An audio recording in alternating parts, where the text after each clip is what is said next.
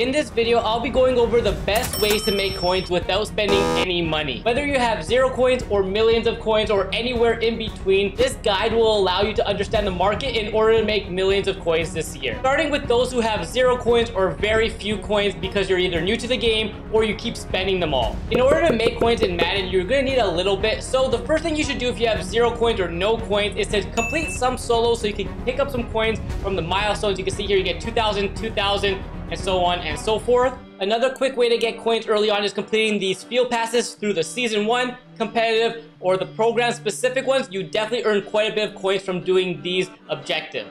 In between doing solos and whatnot, if you have no coins, you're to go ahead and buy one 74 or 75 overall player for about 600 to 800 coins and you're gonna build this set right here it's called the playbook set it's defensive playbook you're gonna redeem it and you can pick any playbook in the game that sells for about 2,000 coins I picked the Kansas City Chiefs because it sells pretty fast because of the looplets right now. As you can see, it recently sold for 1,900 coins. So we are going to list it for 2,000 and if it sells, we're going to make about a 1,000 coins at a time. The playbook method is zero risk, but it's very slow and it won't make you a ton of coins fast.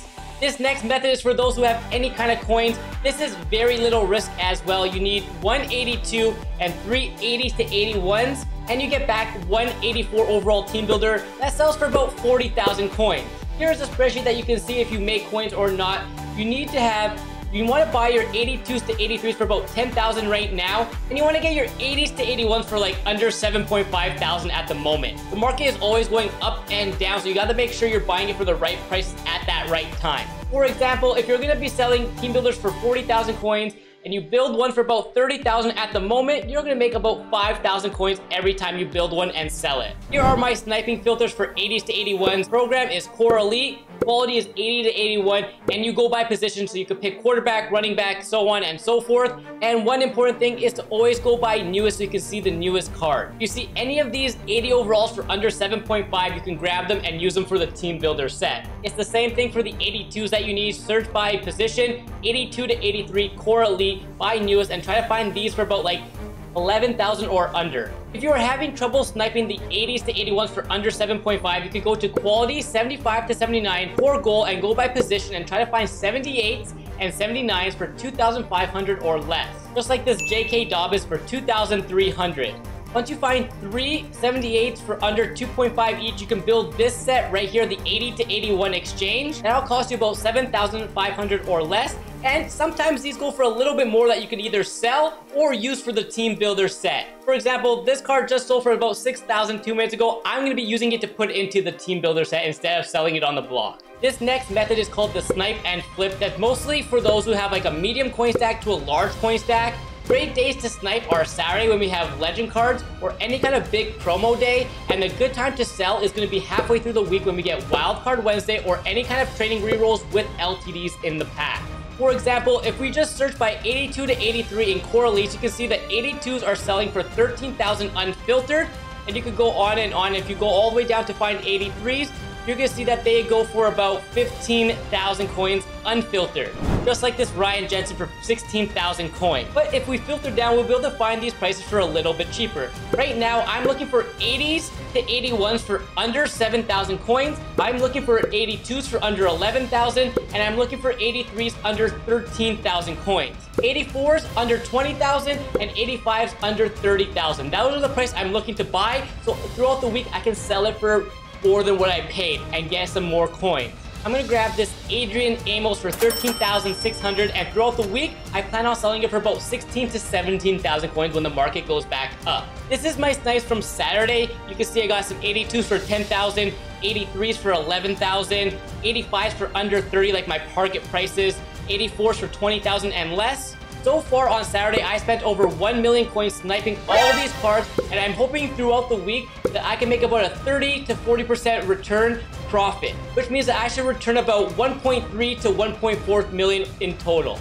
This also works for the large coin investments, and that's what you should be doing if you have a ton of coins like I do at the top right corner there. As you continue to build your coin stack up, you can start moving on to Unsung Heroes. This is about a medium to large coin stack you need for this. It requires five 84 overall team builders. I was showing you how to build them for about 30 to 33,000. And if you do the math there, that's about 150 to 160,000 coins total to put into a set like this. Let's have a quick look at the NFC South Unsung Heroes. Okay, so there is Jamel Dean, Grady Jarrett, Matthew Ioannidis, and Jameis Winston.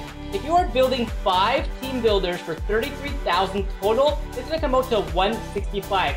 At the moment on PlayStation, here are the prices that these cards are selling for. These 87s are selling for 195, 213, 215, and 209. That means you're getting a profit of 23,000 for Jameis Winston at the moment. Obviously, these prices can change. 28,000 for Matthew Ioannidis, 26 for Grady Jarrett, and 10,000 for this Jamel Dean. If, however, you want to build the NFC Divisional Champion, you will lose profit on that. However, you do get back all four of these players for only 97,000 coins. Not too bad if you're looking to build your team, but for coin making wise, you do not want to build the divisional champions. You want to stick to building unsung heroes. Always check the price of these cards before you jump into it. Next, I want to show you a risky method. This is only if you have a lot of coins. I would not recommend it because it has high risk, high reward, so you can definitely lose coins doing this, but I figured I would show you anyway. In the store, you can buy this strategy item pack for 4,000 coins. You're either able to get a common, uncommon, rare, or epic strategy item. If you pull a silver slash common, you're gonna lose coins on this just like that. This is only quick selling for 1,000 coins, so you definitely lose, but I'm gonna show you a little bit of a method that can help you build that coin stack as well. I rolled 40 just before this video and I got 31 common, 6 uncommon, 2 rare stratagems, and 1 epic. At the moment, these are the quick sell values of each item, and I'm only selling these cards if they go for more than their quick sell value. For every common strategy item I get, I exchange it up to the uncommon set. I will show you those shortly. And then I only exchange the uncommon to the rare set if the green uncommon one sells for less than 7,000. If it sells for less than 7,000, I'll put it into the set. If it goes for more than 7,000, I will sell it on the auction house. And for the rare, if it goes for more than 28,889, I will sell it. If it goes for less than that, I'll just quick sell it. Same thing with the Epic. If it goes for more than 61,000 coins, I will sell it. If it goes for less than that, I will quick sell it for 55,000. You can see here, we ended up making 14,000 if we just quick sold everything. However, I did make about 20 to 25,000 by selling some and quick selling others. For all my common strategy items, I will exchange it to this uncommon strategy item because they're not really going to be going for more than a thousand coins anyways. No one really wants the uncommon items on their team, but some of these uncommon stratagems do sell for over 8,000 coins, especially the team ones. This one right here that we just got only sells for about 6.8, 7,000 at most, so I'm to exchange this one into the rare set. When I get enough of these uncommon stratagems that are not selling for more than 7,000 coins, I will put them into the rare set to potentially get a good rare one or an epic strategy item from this set. If you enjoyed this video and you want to see what I do with all my coins, make sure you check out where I built the best budget team in Madden.